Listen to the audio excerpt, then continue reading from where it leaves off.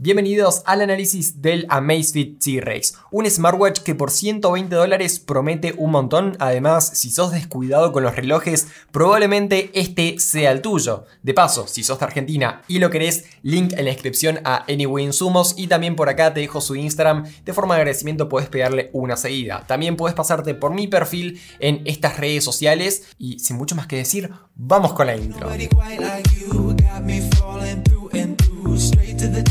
Como les comenté antes, se puede conseguir a partir de 120 dólares o 20 mil pesos argentinos. Dicho esto, hablemos del diseño que es bastante particular. Desde el vamos, nunca había probado un smartwatch tan robusto, 13,5 milímetros y pesa 58 gramos totales con la correa incluida. Esta está fabricada en silicona. En cambio, el cuerpo del smartwatch en polímero, ya sea la parte trasera como los laterales, que incluye cuatro botones, ya vamos a hablar de ellos, y también la parte delantera. Sin embargo, acá donde tenemos el display está recubierto por Gorilla Glass 3. Considerando que el primer contacto con superficies lo hace el polímero, primero se va a desgastar en esta zona, pero el display está súper bien cubierto. En estos días de uso no tiene siquiera un rayón. No hace falta entrar en profundidad sobre la función de los botones. Básicamente bajamos, subimos, select, es decir, avanzamos y hacia atrás, no mucho más. Por ejemplo, si estamos acá para ir al home mantenemos apretado back y volvemos. Quieran o no, es un gran diferenciador para muchos usuarios. Por acá tengo el VIP Lite S, Amazfit GTS e Imilab. Tengo un botón en todos ellos. Y por ejemplo, si yo practico natación, no quiero salirme la pileta ni secarme las manos porque pierdo tiempo y fui a entrenar y tengo solo una hora, estoy súper limitado. Directamente selecciono, busco el deporte, por acá, selecciono de nuevo y ya estamos. Listo. Todo lo hice con los botones y hay mil ejemplos más, pero este es el más básico. Hablando de natación y de poder sumergirlo, soporta hasta 50 metros de profundidad, es decir que primero te va a reventar el corazón antes de que se rompa este smartwatch. También va a funcionar en entornos de hasta 40 grados bajo cero. Y por último y no menos importante, aunque faltan un montón de certificaciones, pero esto es lo más importante, tiene resistencia a ácidos y alcalinos. Pero ojo acá, porque en el manual detallan que si bien pasaron las pruebas, no sometamos este producto por nuestra cuenta a esas pruebas, porque probablemente no las pase, así que agárrenlo con pinzas. Ahora hablemos de su display. Tiene un panel AMOLED de 1,3 pulgadas con resolución 360 x 360. Parece poco, pero dado su tamaño 1,3 es más que suficiente para tener una excelente experiencia y que no se note ningún píxel. Es impresionante la calidad del panel, me, me encantó la verdad. Lo que yo esperaba lo cumplió. Y es un panel muy similar al GTS, por lo que el brillo máximo es suficiente para exteriores, no va a haber ningún problema. Además tenemos un sensor de luz que podemos activar el brillo automático, esto nos permite ahorrar un poquito de batería en caso de que lo utilices mucho en interiores. En exteriores, lógicamente va a aumentar el brillo, así que vas a tener menos autonomía. Hablando de eso, 390 mAh. La marca, es decir, Amazfit, te dice que va a durar de 20 a 66 días dependiendo el uso que le des. En mi caso, con brillo al 70-80%, uso del GPS, detección de ritmo cardíaco cada 30 minutos y el Always on Display como está activado en este caso me dio 10-11 días de uso en promedio, por lo que está muy bien. La carga se realiza mediante estos dos pines, es magnética, viene este cable con salida de USB-A, no trae cargador, recomiendo utilizar uno de 10 watts. Tengan cuidado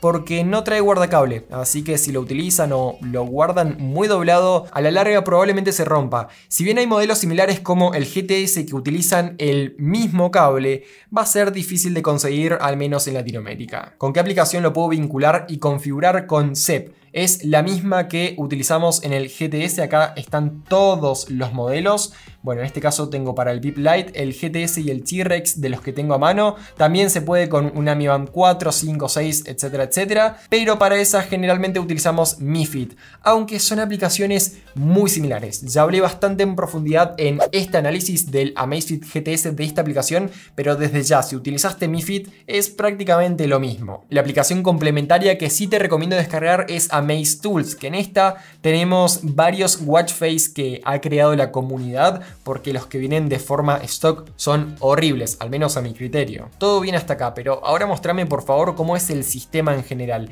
La verdad que lo encontré más sencillo que en el GTS. Una vez que estamos en el watch face, hacia abajo tenemos una barra donde podemos bloquear dispositivo, cambiar el, brillo, al igual que también poner un no molestar que es importantísimo porque a veces, por ejemplo, estoy grabando un video y necesito el no molestar sí o sí, lo tenemos súper súper sencillo. También la interna y algo muy positivo que no viene el GTS y este sí lo tiene el modo de ahorro que dura bastante más la batería. Con esto yo pude largarlo al menos toda una tarde con un 2-3% de batería. Muy bien. Desde el watch face hacia la izquierda tenemos las notificaciones. Cuando tenemos muchas no hace falta ir eliminando una a una. Deslizamos hacia abajo, tenemos un icono y se eliminan todas. Eso también es genial. Hacia abajo el estado ritmo cardíaco. Si queremos más detalles entramos en él con el select o hacemos clic nada más y hacia atrás podemos ir con el botón back o deslizando de izquierda a derecha. Hacia la derecha tenemos todas estas opciones que son prácticamente las mismas que en el GTS, aunque en deportes, y es algo importante, hay unas cuantas agregadas que el GTS no lo tiene, pero acá no veo tenis, que es importantísimo para muchos usuarios. Al final llegamos a más configuraciones, y acá lo más importante es el tiempo de duración del display prendido una vez que nosotros, por ejemplo, hacemos el gesto o lo encendemos manualmente. Generalmente yo lo pongo en 6 8 segundos, pero ahora como estoy grabando el video en 14 para que no se apague cada vez que termino de hablar. Y por último, el Always On Display, que si no es de utilidad para vos, desactivalo para doblar la autonomía. Muchos han llegado a este video porque les interesa saber realmente cómo funciona el GPS, que por cierto, sí, tiene un GPS integrado, no hace falta llevar el celular para hacer uso de un GPS.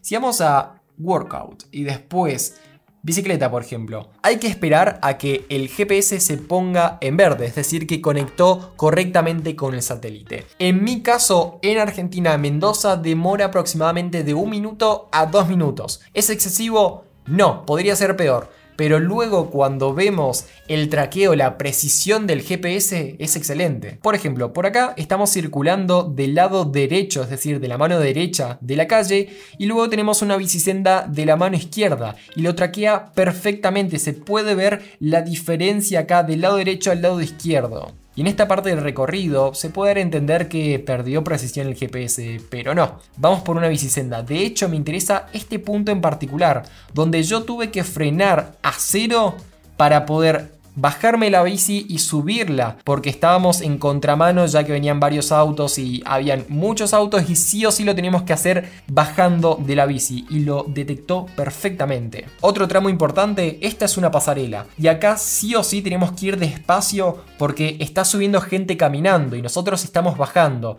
Y acá yo decidí bajarme la bici porque estaba pasando mucha gente. Así que lo traqueó excelente, de forma excelente. La precisión increíble de este GPS. Lógicamente todo esto basado en mi experiencia. No tuve la posibilidad de ir a senderos en cerros más alejados donde tal vez el GPS no tiene la misma precisión. En cuanto a conexiones, como ya les dije, es re fácil de vincular mediante la aplicación con Bluetooth 5.0. No tuve ninguna inestabilidad rara, siempre pude leer todas las notificaciones, siempre estuvo conectado a pesar de que me alejara bastante, súper, súper estable. Dato de color por si te interesa, no tiene altímetro y comparado por ejemplo a smartwatch que sí tienen altímetro, la variación es de un 10 a 15%, así que ojo ahí. Y llegamos a la conclusión, ¿qué es lo que menos me gustó? Primero que nada, la correa. Es súper cómoda, pero el problema es que está hecho especialmente para este modelo de smartwatch, así que no se consigue fácilmente. Y el mecanismo de reemplazo tampoco es fácil, una llavecita especial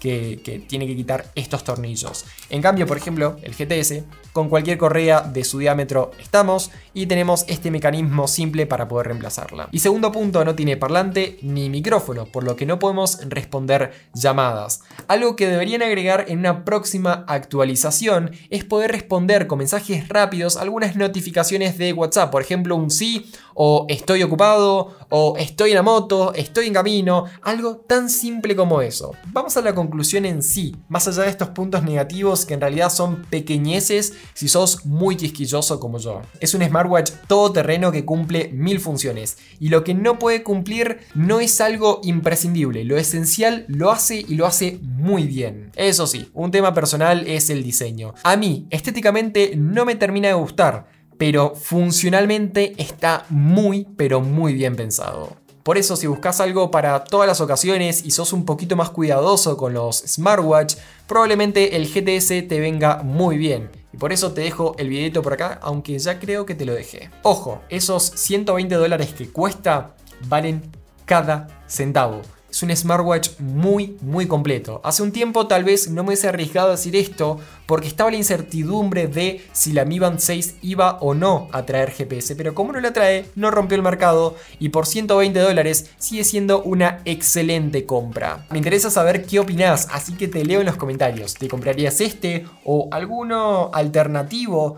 Porque la competencia está muy fuerte en este rango de precio. A mi criterio, yo como les dije recién, vale cada y sí lo compraría. Te recuerdo que si sos de Argentina y querés el tuyo, pasate por Anyway Insumos, ya sea la página web en la descripción, al igual que el producto, o también puedes pasar por su Instagram. Sin mucho más que decir, por acá, mis redes sociales para un contenido extra, me ayudas un montón con un me gusta y un comentario, y nos vemos en un próximo video. Chao, chao.